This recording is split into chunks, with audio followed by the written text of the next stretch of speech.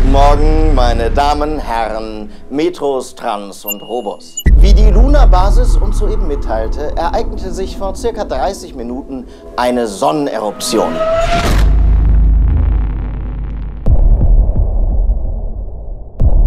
Also, achten Sie auf Ihre Lieben, dann kann Ihnen gar nichts passieren.